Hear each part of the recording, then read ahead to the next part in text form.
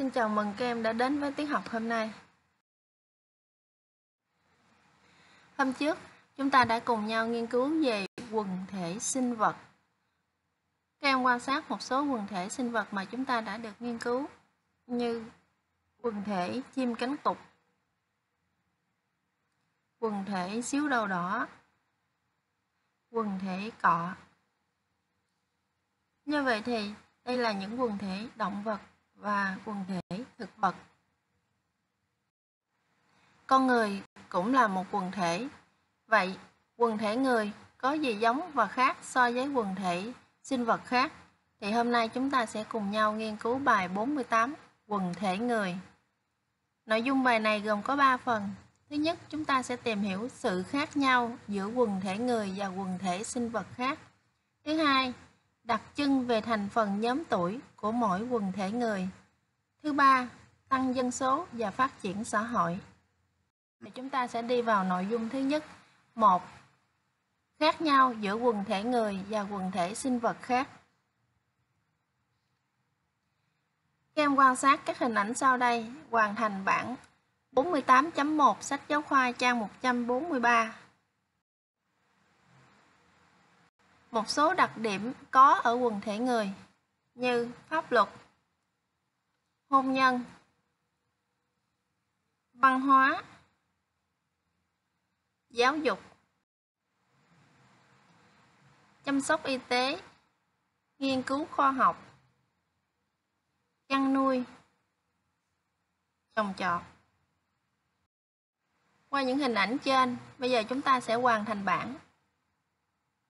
Thứ nhất, về giới tính. Quần thể người và quần thể sinh vật khác đều có giới tính. Nếu có ta đánh chữ có, không thì ta đánh chữ không. Thứ hai, lứa tuổi. Mật độ. Sinh sản. Tử vong. Cả quần thể người và quần thể sinh vật đều có.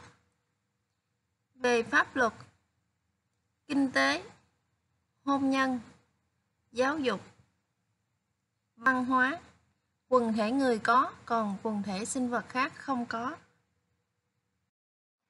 Qua nội dung bảng, chúng ta sẽ rút ra điểm giống và khác nhau giữa quần thể người và quần thể sinh vật.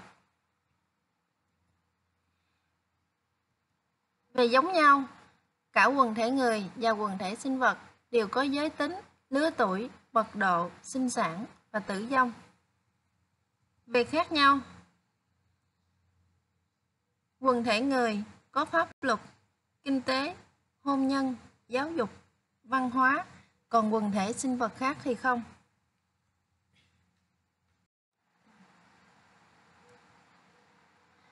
Vậy, quần thể người có những đặc điểm gì giống với quần thể sinh vật khác? Em ghi nhận thông tin. Quần thể người có những đặc điểm sinh học giống với quần thể khác, giống với quần thể sinh vật khác. Quần thể người có những điểm gì khác với quần thể sinh vật khác? Và vì sao có sự khác nhau đó? Quần thể người có những đặc trưng khác với quần thể sinh vật khác, đó là đặc trưng về kinh tế, xã hội như pháp luật, hôn nhân, giáo dục, vân vân. Sự khác nhau đó là do con người có lao động, tư duy nên có khả năng điều chỉnh đặc điểm sinh thái trong quần thể.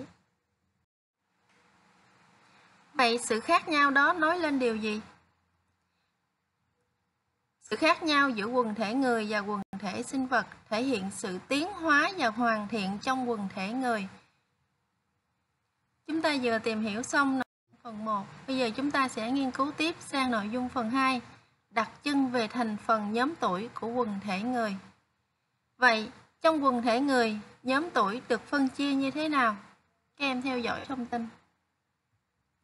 Trong quần thể người, nhóm tuổi được chia làm 3 nhóm. Nhóm thứ nhất, nhóm tuổi trước sinh sản, được tính từ sơ sinh đến dưới 15 tuổi. Nhóm tuổi thứ hai, nhóm tuổi sinh sản và lao động, được tính từ tuổi 15 đến 64.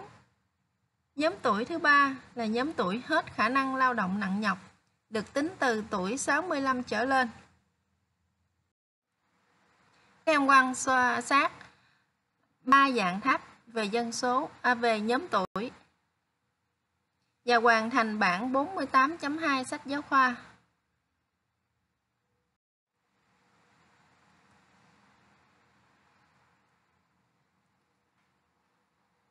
Quan sát ba dạng tháp tuổi thì ta thấy có các biểu hiện. một Nước có tỷ lệ trẻ sinh ra hàng năm nhiều. Đó là dạng tháp A và dạng tháp B. Nước có tỷ lệ tử vong ở người trẻ tuổi cao, tức là tuổi thọ. Trung bình thấp, đó là dạng tháp A.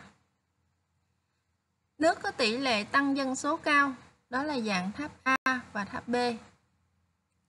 Nước có tỷ lệ người già nhiều, đó là dạng tháp C. Dạng tháp dân số trẻ, đó là dạng tháp A và dạng tháp B, tức là dạng tháp phát triển. Dạng tháp dân số già là dạng tháp C, tức là dạng tháp ổn định. Vậy, sự khác nhau giữa tháp dân số trẻ và dân số già như thế nào? Tháp dân số trẻ, ta quan sát thấy đáy tháp rộng, số lượng trẻ sinh ra nhiều, cạnh xiên nhiều, đỉnh nhọn, biểu hiện tỷ lệ tử vong cao, tuổi thọ trung bình thấp. Còn dạng tháp dân số già đáy tháp hẹp, số lượng trẻ sinh ra ít, cạnh gần thẳng đứng, đỉnh không nhọn, biểu hiện tỷ lệ tử vong thấp, tuổi thọ trung bình cao. Đó là sự khác nhau giữa tháp dân số già và tháp dân số trẻ. Đây là một số thông tin các em nghiên cứu thêm để mở rộng kiến thức.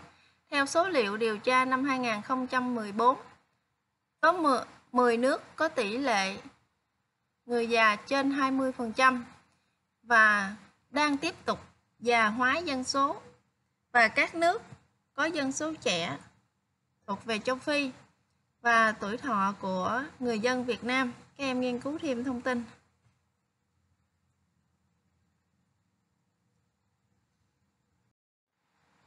Bây giờ chúng ta sẽ tìm hiểu sang nội dung phần 3 Tăng dân số và phát triển xã hội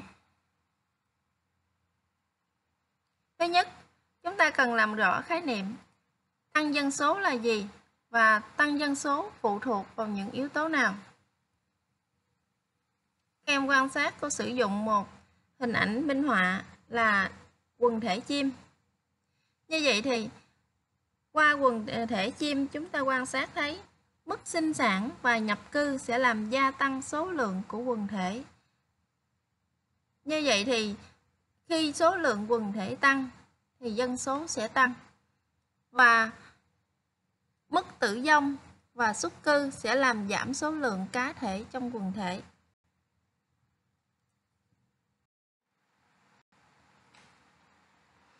Qua hình ảnh trên và kết hợp thông tin sách giáo khoa đã nghiên cứu, thì theo các em, nếu như dân số tăng quá nhanh, có thể dẫn đến những trường hợp nào trong các trường hợp sau đây? Em nghiên cứu thông tin từ A đến H. Chúng ta sẽ đánh dấu X vào ô những đáp án đúng. Như vậy, tăng dân số quá nhanh sẽ dẫn đến thiếu nơi ở, thiếu lương thực, thiếu trường học và bệnh viện. Dân số tăng nhanh làm ô nhiễm môi trường. Khi con người thiếu nơi ở, thiếu lương thực thì phải chặt phá rừng, làm nương gãy, làm nhà, chăn nuôi gia súc, trồng trọt. Khi dân số tăng nhanh, kinh tế sẽ chậm phát triển. Dân số tăng nhanh làm tắc nghẽn giao thông. Dân số tăng nhanh, năng suất lao động không tăng. Như vậy thì đáp án H là đáp án chưa chính xác. Vậy, hậu quả của việc tăng dân số quá nhanh đó là khi dân số tăng quá nhanh thì dẫn đến nghèo và trình độ văn hóa thấp. Người dân nghèo thì dẫn đến đói. Nghèo, trình độ văn hóa cũng sẽ hạn chế. Đói thì sẽ kèm theo bệnh tật trình độ văn hóa thấp và bệnh tật thì sản xuất sẽ kém. Như vậy thì năng suất lao động sẽ giảm. Đó là hậu quả của việc tăng dân số quá nhanh.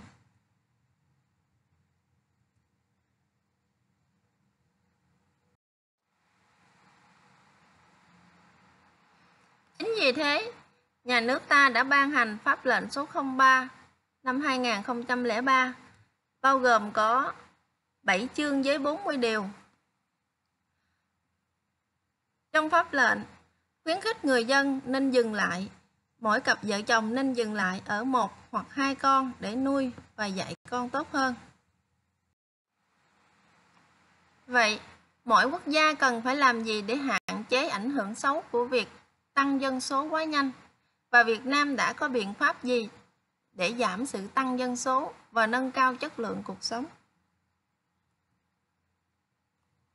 Đối với mỗi quốc gia cần phát triển dân số hợp lý thực hiện pháp lệnh nhằm mục đích đảm bảo chất lượng cuộc sống của mỗi cá nhân, gia đình và toàn xã hội.